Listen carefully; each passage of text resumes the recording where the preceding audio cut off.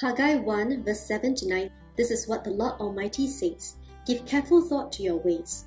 Go up into the mountains and bring down timber and build my house, so that I may take pleasure in it and be honored, says the Lord. You expected much, but see, it turned out to be little. What you brought home, I blew away.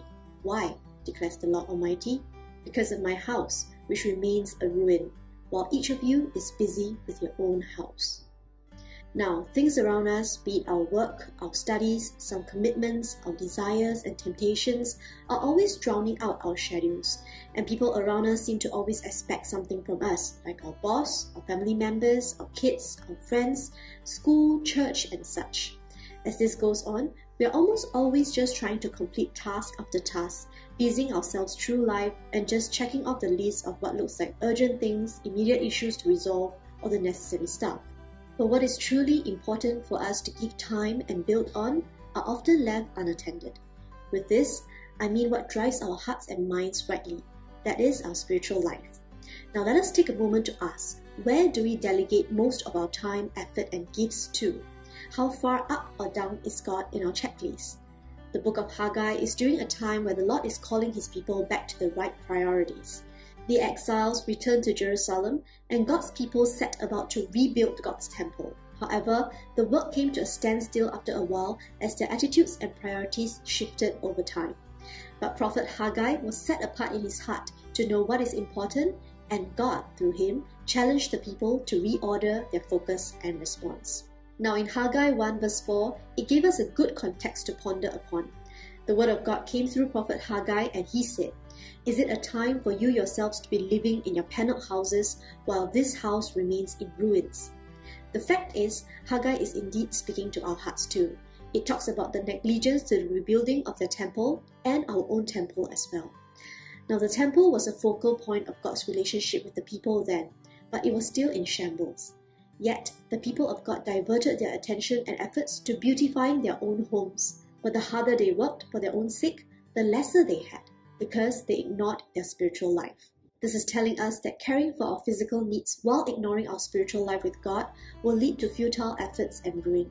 When we do not set our hearts right and firm in faith with God, you'll find that we have many ideas and desires, but eventually, without the purpose, strength, and wisdom of being directed by the Lord, it will lead to a blockage, lack in fruitfulness, or some form of dissatisfaction because ultimately, material possessions and man's limited love cannot satisfy us for long. This is the result of jumbled priorities. And like the people Haggai spoke to, we often jumble up God's work, God's voice with all other things like career, family, leisures, and such. If we honestly ask ourselves, there could be bullet points that are placed higher on our list than God, like climbing to a better status in life, better salary, holiday plans.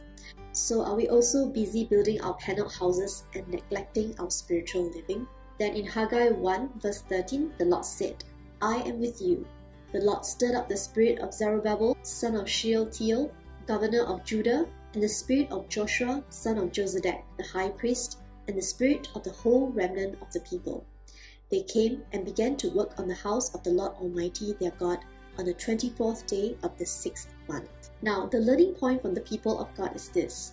Once they have heard Prophet Haggai's message from the Lord, God stirred their hearts and they started rebuilding the temple again after 23 days. It took some time, but yes, they responded to it. These people heard the Lord, put in their hearts, and live it out in action. Many times, we too hear the Lord's convictions or nudges through a sermon, through a devotion, through a brethren, and such. But our response is important. When the Lord stirs our hearts like this, how do we react? To be honest, I have had my fair share of ignoring the Holy Spirit's guidance, knowing I will be tired and unproductive the next day, yet I choose to sleep late for leisure time. Or hearing a good sermon on love, writing some notes, but never really acting on it. Now, we all fall into these moments, but let us, after hearing Haggai's call, really slow down and take time to internalize the Holy Spirit's directions and make plans to put our faith into practice. Is it to set aside time to read the Word more consistently? Having someone to remind us when we get too carried away with using our phones? Or giving some attention to those around us who need ministering? The Lord knows all our limitations, weaknesses, and struggles. So, as He has encouraged the people of God through Haggai, He is also giving us these encouragements to bless all our efforts to draw near to Him today as well. In Haggai 2, verse 3 to 5, the Lord asked His people through Haggai, Who of you is left who saw this house in its former glory? How does it look to you now? Does it not seem to you like nothing? But now, be strong, Zerubbabel, declares the Lord. Be strong, Joshua, son of Jozadak, the high priest.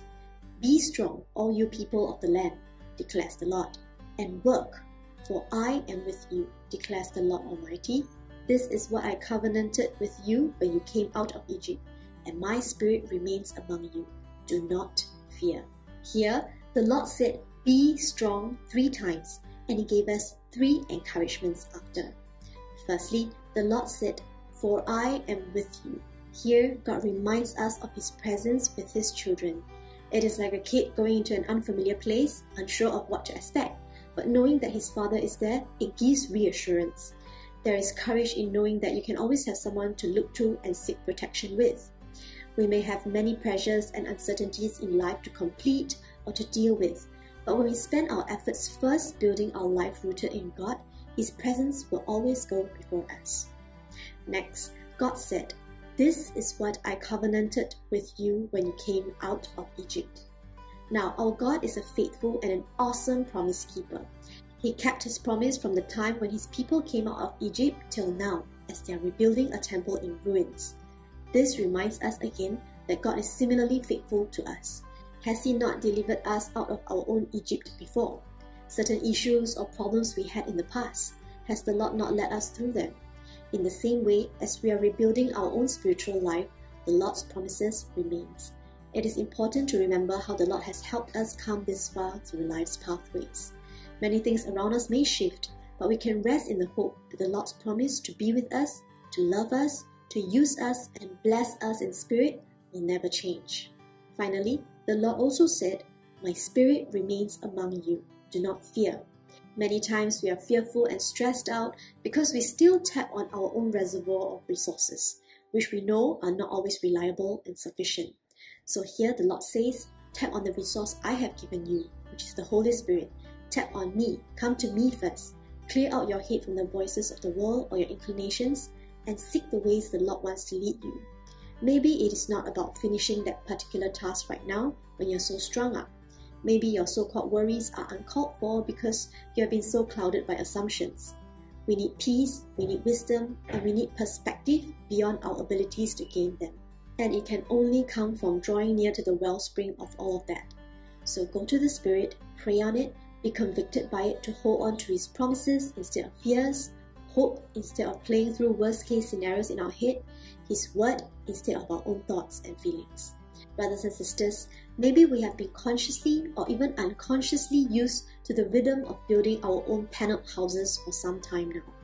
But as we hear this message from Haggai, let us start looking at the other house that could need rebuilding and shift our priorities to what truly matters first.